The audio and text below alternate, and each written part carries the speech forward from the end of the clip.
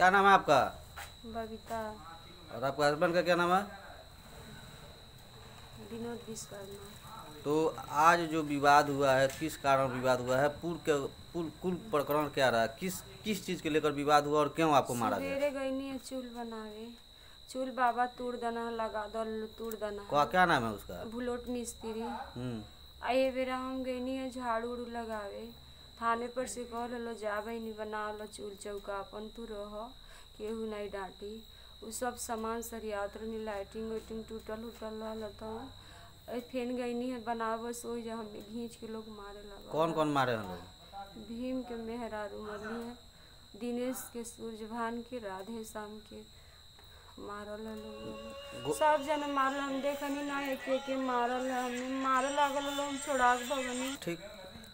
तो क्या ये ये प्रकरण पहले से भी चल रहा है चल रहा है क्या? क्या मामला है? ज़मीन का मामला है कि किस चीज़ का मामला है? हम लॉकडाउन में अपने घरे रहनी।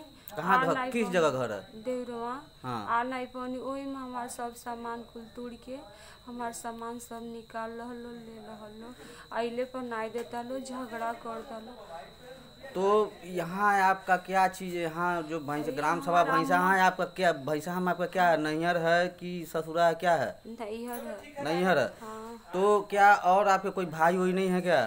वो लोग हमारे भाई नहीं हम दो लोग हैं। दो लोग केवल बहने हैं? हाँ दोनों बहन एक बहन का क्या नाम है? किरण नाम है। उसकी शादी हो चुकी है? हाँ हो चुकी है। तो ये भी पता चल रहा है कि जो आपका घर बना हुआ जो आवास वो सरकारी आवास है? सरकारी कौन प्रधानमंत्री आवास है कि इंदिरा आवास है? इंदिरा और हम पाचन अपने घर से लगौले रहनी है कि हम पाचन के मालिक लगवा के बनवले रहना। हमारा अम्मा रहली है तो।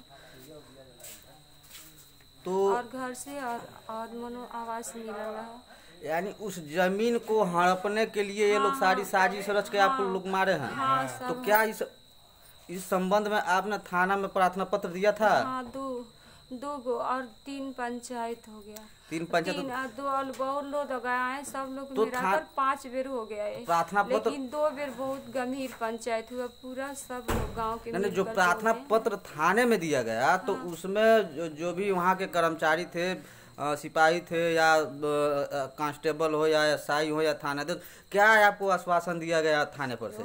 सब बोल रहे हैं जाओ चूक चौका बनाओ कोई नहीं मारपीट करेगा तुम जाओ कोई नहीं रोकेगा।